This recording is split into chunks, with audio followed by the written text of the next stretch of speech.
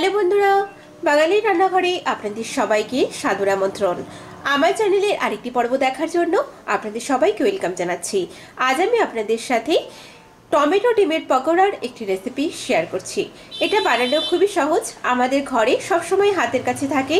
এমন কিছু ইনগ্রেডিয়েন্টস দিয়ে এটা আমরা চটপট তৈরি করে নিতে পারি। এটা আপনারা সন্ধেবেলা চা বা কফির সাথে তৈরি করতে পারেন আর অবশ্যই এটা গরম গরম পরিবেশন করবেন। আশা করি ভালো লাগবে। তাহলে চলুন আজকের এই রেসিপিটা আমরা চটপট তৈরি করে ফেলি।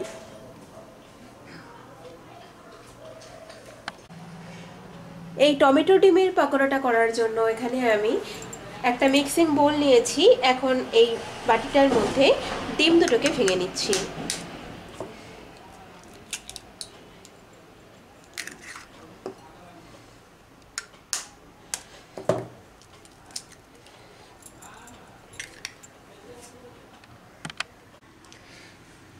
ভালো করে এই দুটোকে একটু ফেটিয়ে নিচ্ছি।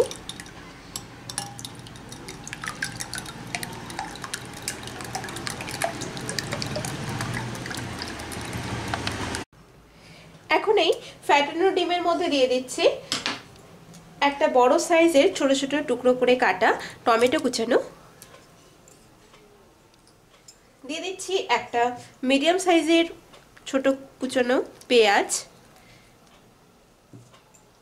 তিনটে কাঁচা লঙ্কা কুচি, ধনে পাতা কুচানো,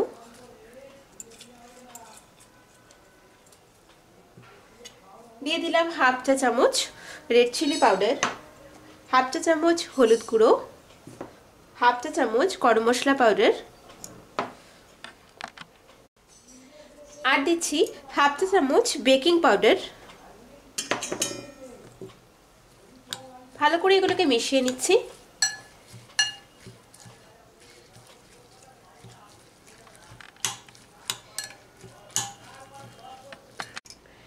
এখন দেবো এর মধ্যে তিন টেবিল চামচ কর্নফ্লাওয়ার। কর্নফ্লাওয়ারের পরিবর্তে আপনারা চালের গুঁড়ো ব্যবহার করতে পারেন। দিয়ে দিচ্ছি দুই টেবিল চামচ বেসন। স্বাদ মতো লবণ দিলাম।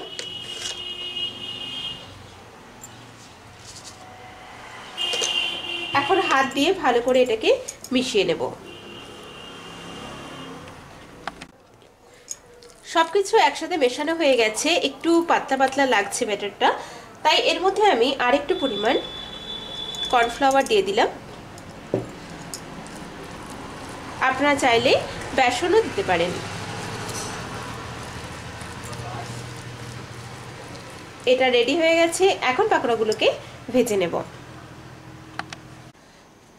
পকোড়াগুলোকে ভাজার জন্য বেশি পরিমাণ করে রিফাইন তেল দিয়ে দিলাম কড়াইতে। এগুলোকে আমি ডুবো তেলে ভাজবো। তেলটা ভালোভাবে গরম হয়ে গেছে। এখন পাকোড়াগুলোকে ভাজার জন্য দিয়ে দিলাম।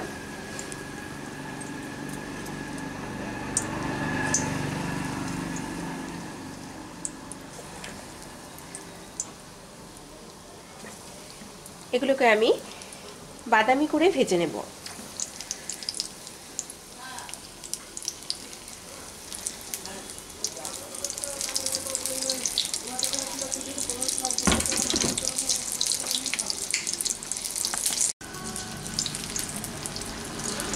বেকিং পাউডারটা দেওয়ার জন্য এগুলো খুব সুন্দর ফুলেছে।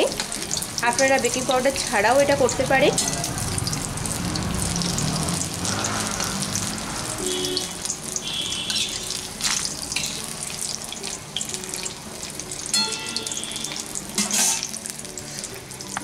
এগুলোকে আমি ভেজে নিয়েছি। এখন তেলটাকে ভালো করে ছড়িয়ে তুলে নিচ্ছি।